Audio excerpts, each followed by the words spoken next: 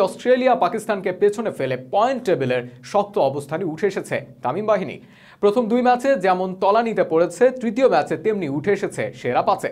এছাড়াও ICC one day super লিগের শীর্ষস্থান মজবুত করেছে বাংলাদেশের বিরুদ্ধে সিরিজ জয় করা ইংলিশরা।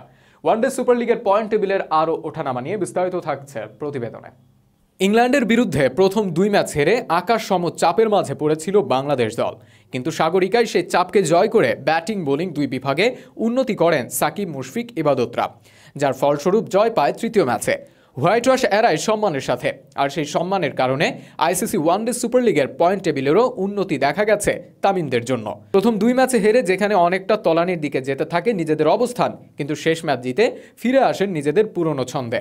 পাশাপাশি পাঁচবারের বিশ্ব চ্যাম্পিয়ন অস্ট্রেলিয়া ও পাকিস্তানকে সরিয়ে আবার শক্ত পজিশনে উঠে আসে সাকিবরা। যদিও এরই মধ্যে দু হাজার বিশ্বকাপ নিশ্চিত হয়ে গেছে টাইগারদের।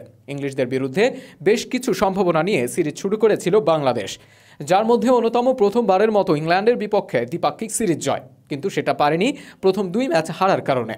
তবে তৃতীয় ম্যাচ জিতে দুই এক ব্যবধানে সিরিজ শেষ করে দুই দল। আর এই জয়ে ওয়ানডে সুপার লিগের পয়েন্ট টেবিলের চতুর্থ স্থানে উঠে এসেছে বাংলাদেশ।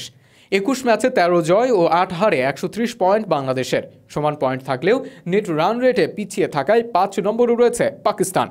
আর আঠারো ম্যাচে একশো কুড়ি পয়েন্ট নিয়ে ছয় নম্বরে অবস্থান করছে অস্ট্রেলিয়া। বারো জয়ের বিপরীতে ছয়টি পরাজয় রয়েছে অজিদের। এদিকে টাইগারদের বিপক্ষে সিরিজ জয়ে পয়েন্ট টেবিলের এক নম্বর স্থান আরও বেশি মজবুত করল জস বাটলারের দল। তাদের পয়েন্ট এখন একশো পঞ্চান্ন। দুয়ে থাকা নিউজিল্যান্ডের পয়েন্ট একশো পঞ্চাশ, আর তিনে আছে ওয়ানডে বিশ্বকাপ আয়োজক দেশ ভারত। চলতি বছরের মে মাস পর্যন্ত আইসিসি ওয়ানডে সুপার লিগের পয়েন্ট টেবিলের শীর্ষ আট দল সরাসরি দুই হাজার তেইশ সালের ওয়ানডে বিশ্বকাপে অংশ নেবে। এর মধ্যে আয়োজক ভারত সহ England New Zealand Bangladesh, Pakistan, Australia ও আফগানিস্তান বিশ্বকাপ নিশ্চিত করে ফেলেছে। বাকি আছে দক্ষিণ আফ্রিকা, শ্রীলঙ্কা ও ওয়েস্ট ইন্ডিজ। এই তিন দলের যে কোনো একটি সরাসরি খেলতে পারবে বিশ্বকাপ। বাকি দুই দলের বাছাই পর্ব বাধা পার করে আসতে হবে।